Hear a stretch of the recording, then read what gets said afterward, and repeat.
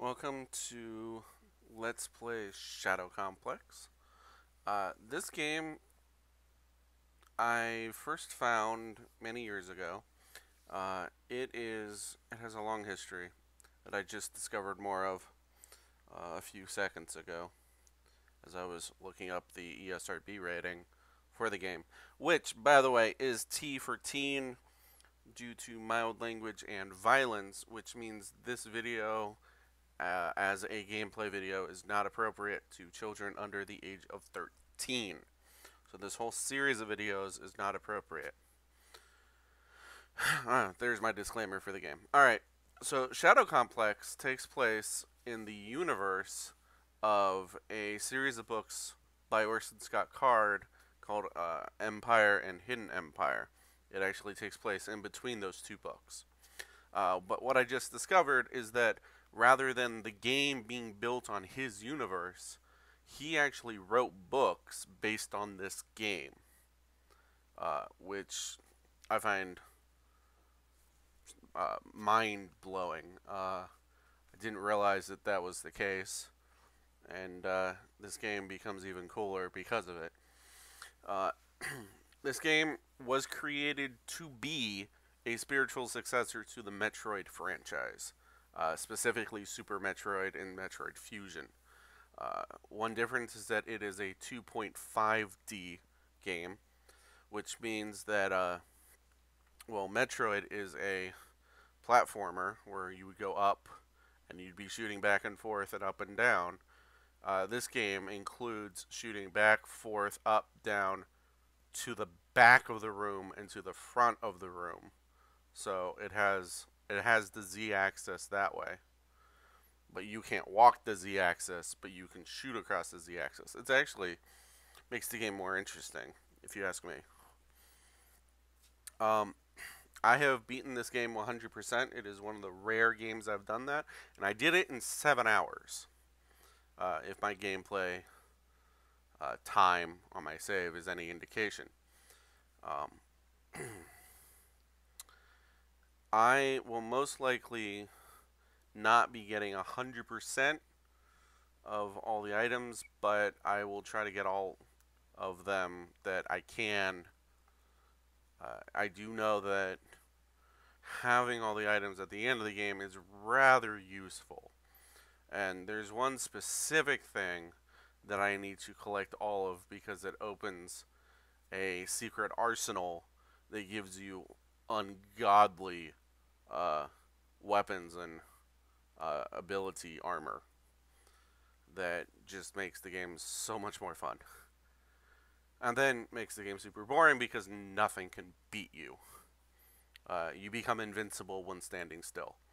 Like that's one of the abilities of this armor. It's it's an Easter egg of sorts for people who have 100%ed uh, finding all of the data caches. Hmm. Alright, well this video is about three minutes long. Uh, as per usual, this is simply an intro video, and the first video of the series will be the beginning of the game. Uh, but, contrary to how that usually works, I am actually going to play the intro to the game now.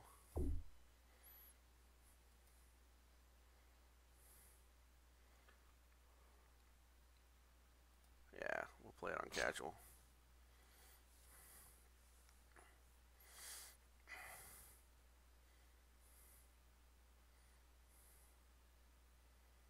the benefit of this is that I can actually just remove the back end of this game if I mess up and just have the uh, this, the voiceover intro if something goes horribly wrong. Oh, look, there's an enter button to continue.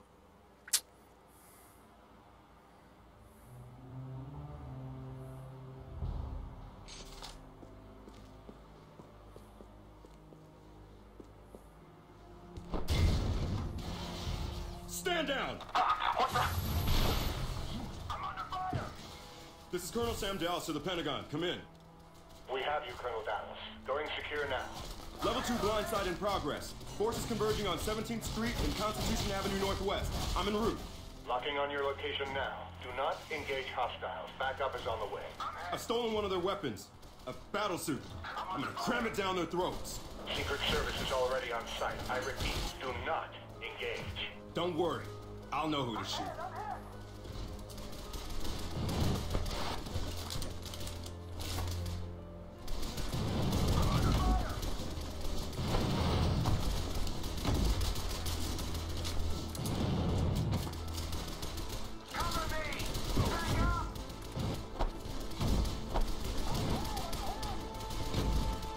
Anyway, uh, there is an achievement for getting up there.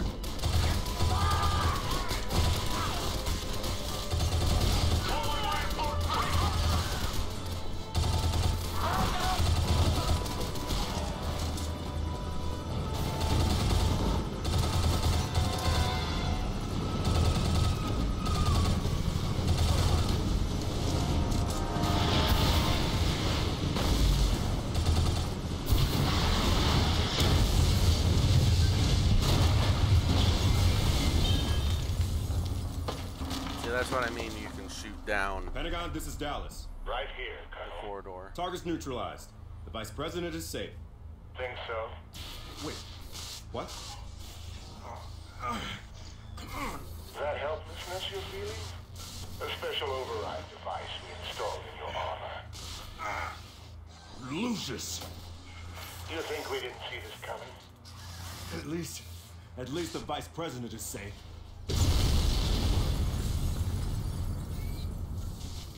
That, Vice President? Of the United States? Not really. Damn it! If it's any comfort, you're not the only pawn who's in play today.